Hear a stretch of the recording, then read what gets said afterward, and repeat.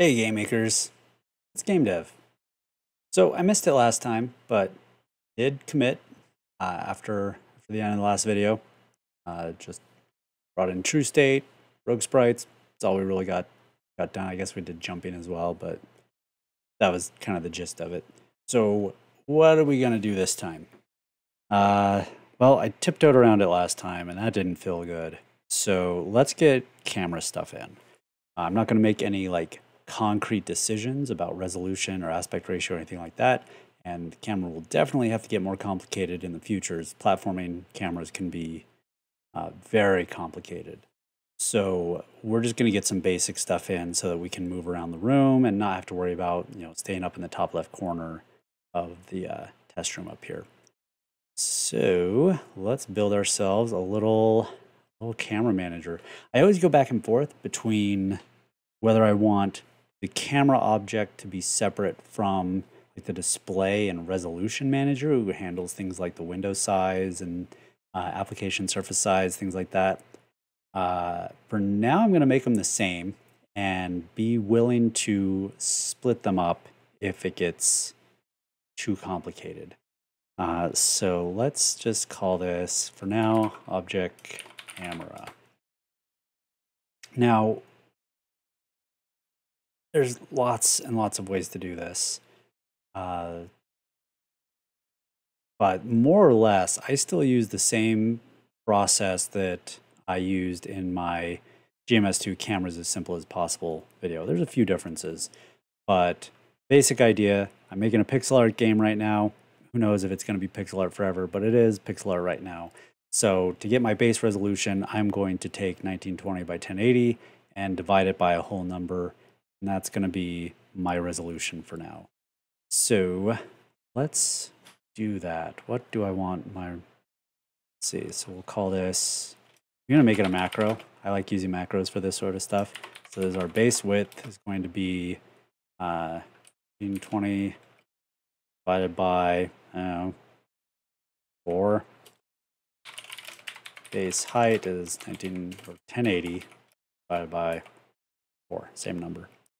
Uh, in fact, we could just do macro base scale uh,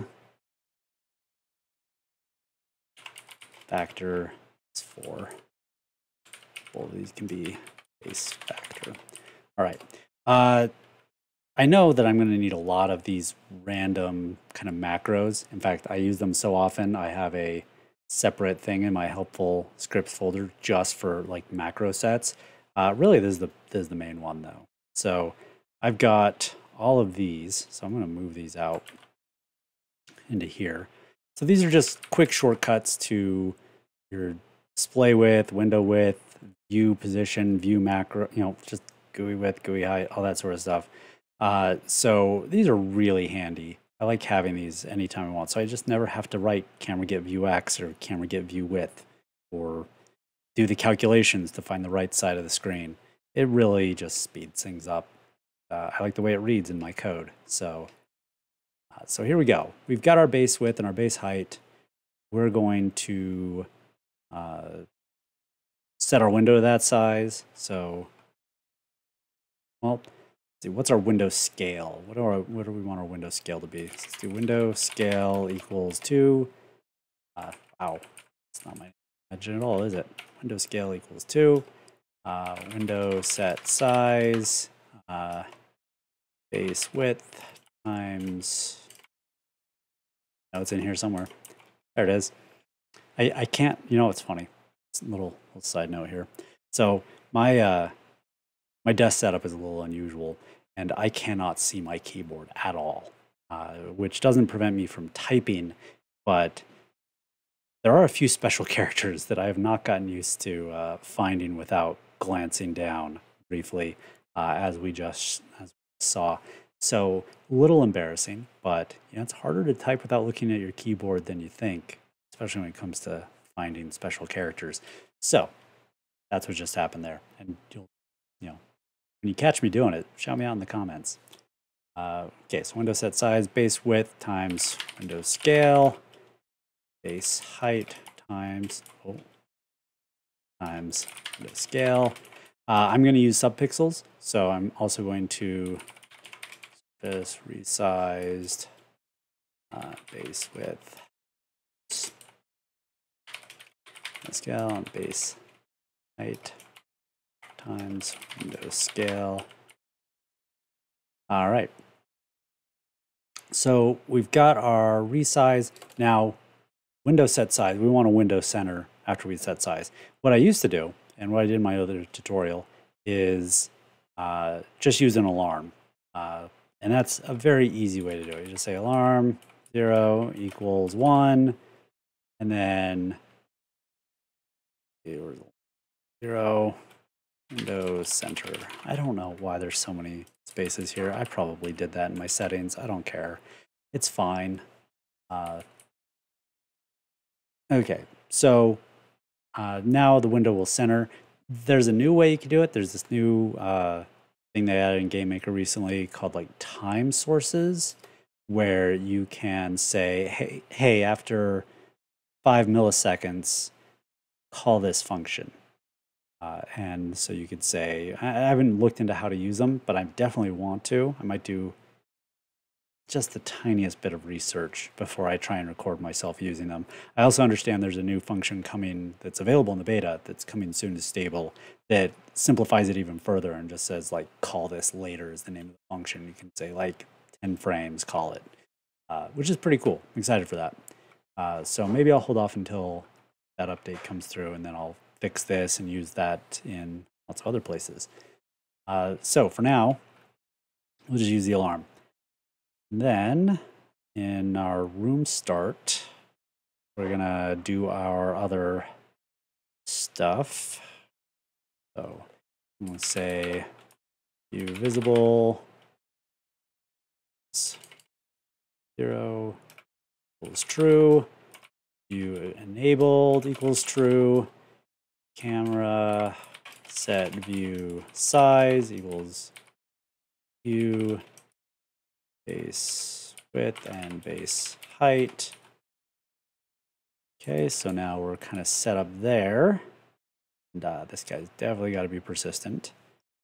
And then we're going to do a very simple follow the character, just dead center, right? Nothing fancy right now, just follow my character. So uh, uh, well, first we'll check if the character exists. If uh, not instance this of object player, then uh, exit. Exit return doesn't really matter. Uh, this is called an early out. It's a way to make it so your code doesn't creep to the right because I hate code that creeps to the right with brackets and brackets and brackets. It um, makes me feel gross, so I avoid it wherever possible. So instead of saying if instance exists object player, then go ahead and focus on the character, uh, I'm just going to say if the character doesn't exist, get out, don't do anything. So now I know the character does exist, so I can say uh, x equals object player dot x uh, minus view width divided by 2, or y equals object player dot y minus view height divided by 2 and then camera set view position, view X, Y. And uh, I could clamp it. I'm not even going to worry about that right now. I'm not 100% sure I want to clamp the view. So we'll just see what that looks like. It's going to init, instances, and add our object camera right up in the top. And let's see what we got. Oh, wrong number of arguments for surface resize. Oh, right, I need to tell it which surface. Resize.